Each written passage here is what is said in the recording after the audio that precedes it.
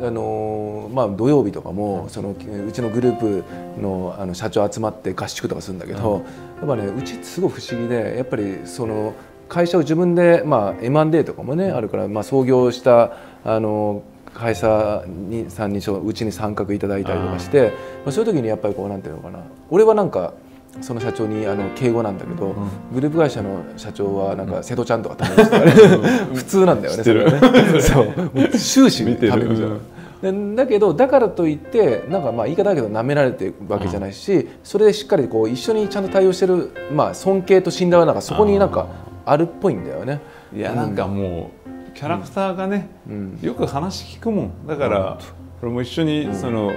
年上の経営者の人とか話すと、絶対可愛がられるわこの人っていつも思うの、だからそれが M&A して一緒のグループになってちょっと勘違いしちゃうとね自分がホールディングス見てるからってなっちゃうけどそれもベースがないじゃん、頑張ってじゃなくて、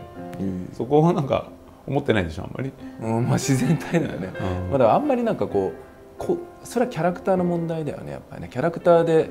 なんていうかなあんうん、まあそれはなんか変わろうと思ってもか、まあ、むしろこれから変えるのは難しい。でもこれから5060になってきた時どうするかだよね。あ自分が上になったらね。年齢が逆転した時どう変わるか俺見てみたいなと思うけどね、でもね今はねやっぱねなめどうやったらなめられるかをすげえ考えてる。なめられるか、うん、その本当にむしろなめなめられるっていうのはね意外と合理的でね。そう そうそう。なめられた方が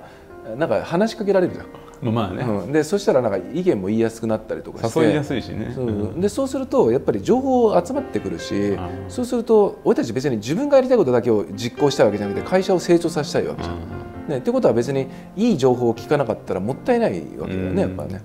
だからできるだけこう集める集めることはすげえ意識するよね、うん、あそそこだけなんかタイプが違うのかもしれないですやっぱ周りの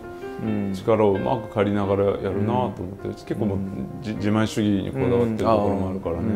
そこはち、うん、やっぱり違うところかもしれない。